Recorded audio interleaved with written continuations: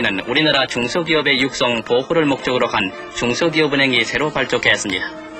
정부가 내디딘 또 하나의 굳센 경제재건의 발자취인 이 중소기업은행은 5명 이상 200명 이하의 종업원과 총 자산 2억 원 이하의 규모를 가진 중소기업체를 대상으로 용자를 해줌으로써 그들의 건실한 운영과 발전을 도모하게 되었습니다.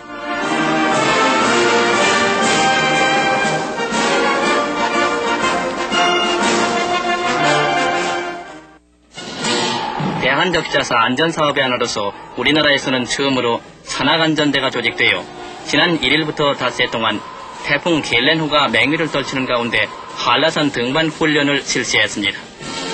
그들 일행은 몰아치는 비바람의 위협을 무릅쓰고 중요 지점마다 긴급 대피소, 호수 안내도, 위험 표지판 등을 세우느라고 최대의 노력을 했는데 이들 안전대는 앞으로도 계속 안전한 등반 기술의 지도와 보급에 힘쓸 것이라고 하며 이번에 그들이 애쓴 보람이 앞으로 한라산의 난 코스를 정복하려는 등산 애호가들에게 큰 도움이 될 것입니다.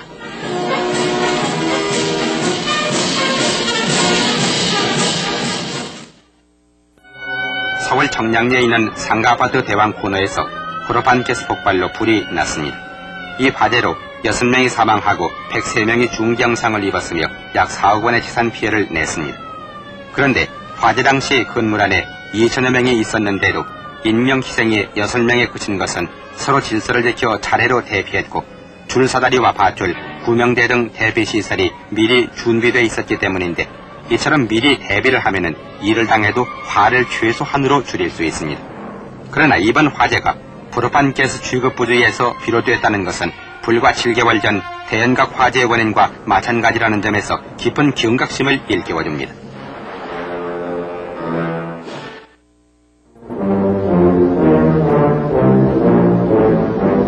2월 28일 독립문의 추측 해서식이 내빈 다수와 시민들이 참석한 가운데 엄숙하게 거행되었습니다. 이날 식전은 선녀를 추모하며 우리 민족의 민주적 발전을 약속하듯이 웅장하고 거대한 독립문의 위용을 더욱 빛내게 했습니다.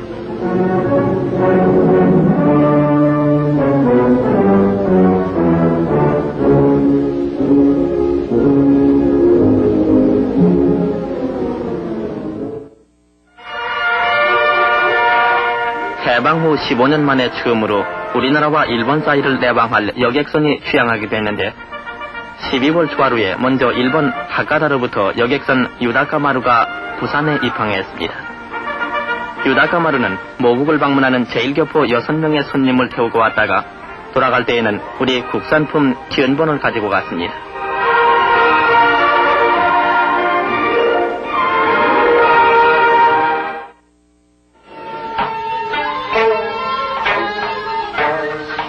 지난 13일에 창경원 안에 있는 장서가게 개관식이 거행되었습니다.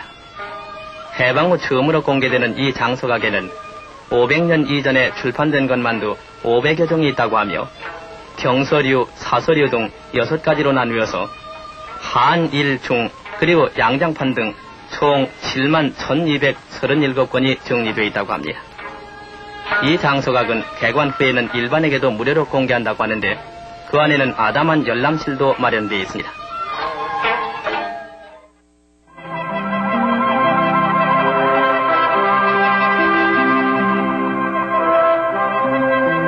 항일 독립투쟁의 역사를 종합적으로 전시할 독립기념관이 5천만 민족의 이름으로 세워집니다. 금국민 모금운동을 통해 오는 1987년 광복절까지 500억 원을 들여서 건립할 독립기념관은 지난달에 민족적 순환을 되새기고 민족 정기의 구심점 역할을 하게 됩니다.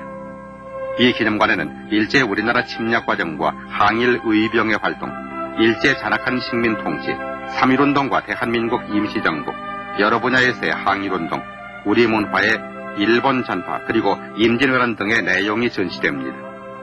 독립기념관 건립을 위한 모금운동에 온 국민의 적극적인 참여가 있어야 하겠습니다.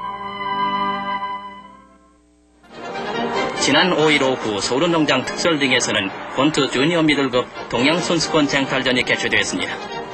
약 2만을 헤아리는 권투 팬들이 스탠드를 메운 가운데 선수권 보유자인 한국의 강세철 선수는 도전자인 일본의 마이미소 선수와 대결했습니다.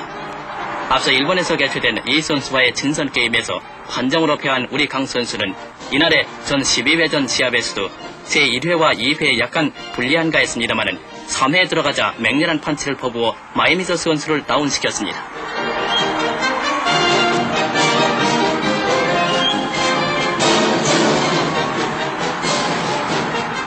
그러나 마이미소는 23살에 강한 체력을 자랑하면서 다시 일어나는데 이에 대해서 강 선수는 계속 과감하게 접근전을 전개 훅판치를 연타 이번에는 카운트 8까지 그를 다운시켰으며 5회에 들어서도 강 선수는 공격을 계속 다시금 마이미소를 다운시켜 결국 TKO로 승리해서 그의 선수권을 방어했습니다.